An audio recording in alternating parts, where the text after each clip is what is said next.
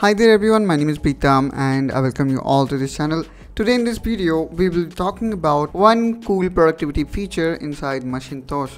Let's say you want to write a document which is a bit long and you hate typing then how we can write that document just by speaking or just by voice typing and you do not need to worry guys as this feature comes built in inside Macintosh no matter what kind of accent you have the machine Macintosh can write it perfectly. Before we go further i would suggest you to consider subscribing to this channel as we keep on bringing productivity tips and tricks that going to make a real time impact in your day-to-day -day use. Now let's jump back to our topic which is how we can enable voice typing inside Macintosh so okay let me actually go with pages because pages will make perfect sense now let me go with the blank one.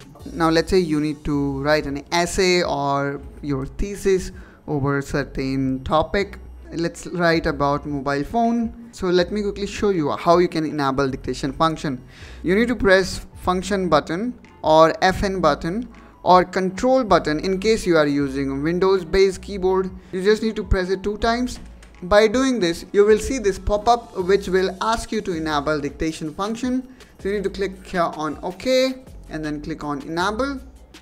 And in this way guys you can enable dictation function. And you can even see um, as soon as I enabled it it have start typing. Isn't it cool guys? So in this way guys we can really type very fast now coming back to our topic I wanted to write an essay over mobile phone so let me quickly write it here so again, in order to activate dictation function in Macintosh, again you need to press the same button which is Control or Fn.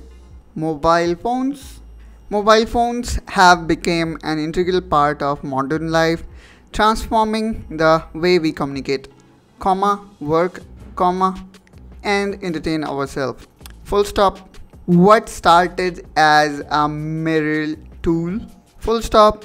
What started as a mere tool for voice communication has evolved into multifunctional device, comma, offering features such as internet browsing, camera functionality, comma, GPS navigation, comma, and various applications to facilitate daily tasks full stop. So we just saw how easy it is to write a long document with just typing.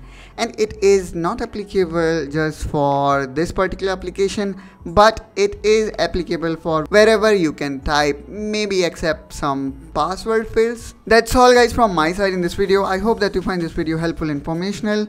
If yes then don't forget to like and subscribe to this channel for more such content. And i will catch you soon in my next video. Till then take care and bye bye